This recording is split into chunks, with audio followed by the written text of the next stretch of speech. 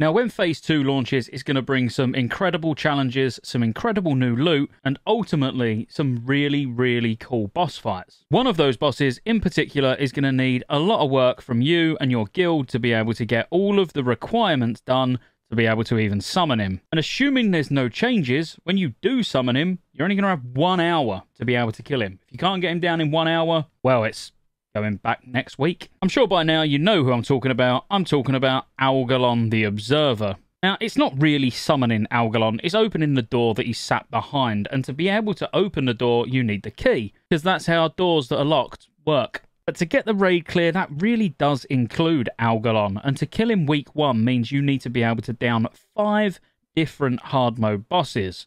Technically, you only need to kill four, because actually, to get the key, which we're going to talk about in just a second, you can do the medium mode. So, Iron Council in particular has got three difficulties basically easy, medium, and hard, if you like and the medium and the hard difficulties you can get the item that you need. So the hardest of all the difficulties is the one that's actually part of Glory of the Ulduar Raider 25, which is I Choose You Steelbreaker. Now this is to make sure Steelbreaker's the last one that you kill. I wouldn't say the difficulty is massively different between I Choose You Steelbreaker and I Choose You Runemaster Molgeim. So this is to leave the medium-sized mob alive until last. It's the one that drops all the horrible toxic pools on the floor, but also does give some nice buffs. But either way, you need to make your way to Iron Council, you need to kill either Steelbreaker last or Runemaster Molgeim last, and then he will drop an Archivum data disc. This disc can only be looted by one person, which probably is going to end up being your raid leader or your main tank for the first week. When you right click on it in your inventory, it will then give you a quest, which is basically going to send you directly behind the Iron Council to the Archivum console. This console plays a, a slightly bigger part in Ulduar. It's you need to use the console to be able to make Val'anyr. You need to be able to use the console to be able to summon Algalon. You know, it's sort of thing that you go to for the Ulduar quests. Now, you'll have some nice RP that goes on, which talks you through all of the keepers and who the keepers are, and basically that you need to go and kill them.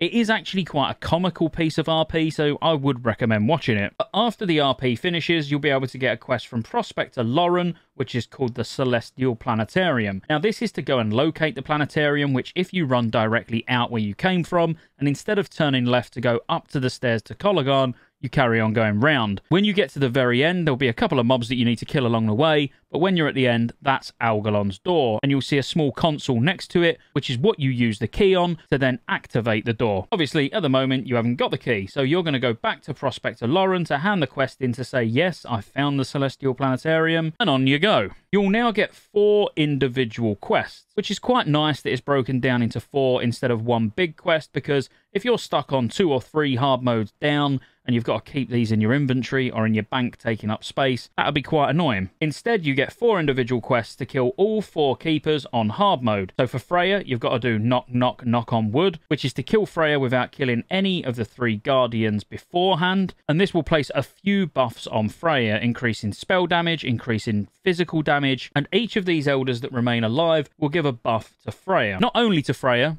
also to all the ads that Freya has spawn in pretty much all the way through the fight as well. So Brightleaf is going to give 60% nature damage to her and her allies, as well as being able to use Solar Flare, which is a big nuke that will hit multiple targets. Elder Stonebark is going to increase physical damage dealt by Freya, and Freya will also get a Ground Tremor, which is a 2 second cast AoE, which does physical damage and interrupts spell cast. And finally, Elder Ironbranch will increase physical damage dealt by allies of nature by 50%, and Freya also gains the ability to cast Iron Roots, which is a single target root with a very, very large dot, and you can basically nuke the roots to free people, or you can use things like Hand of Freedom, which is very nice. So as you see, like I said, not only is Freya getting buffed, the allies are getting buffed as well when you're doing it with all three keepers alive.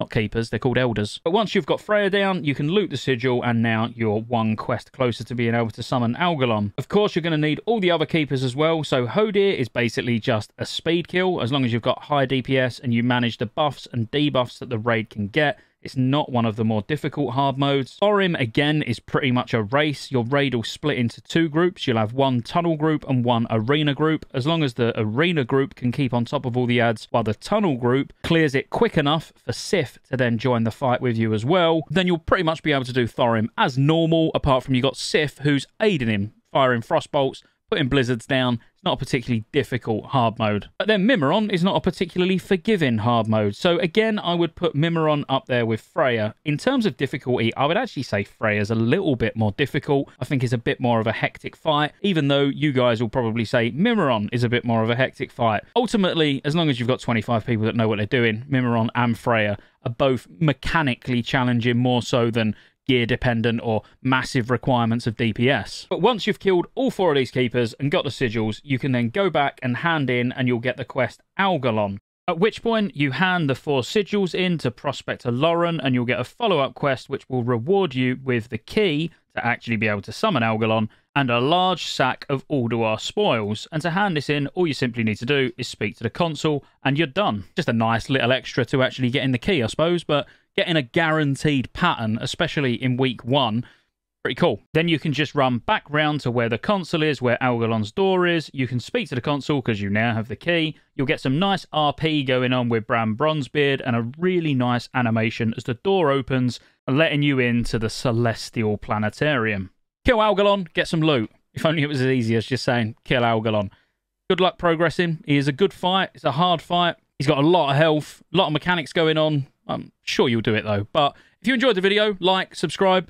Roll the outro. There's lots of ways you can support the channel to keep me here putting out World of Warcraft content and covering all future MMOs. Consider joining the channel as a member. You get access to emotes. Everyone will know you're a member when you comment on future videos because you get a nice icon next to your name. And you get access to members only videos, which I'll be putting a lot of on the channel throughout the year. Additionally, there's a Patreon link in the description as well. Thank you for watching all the way to the end, and I'll see you on the next one.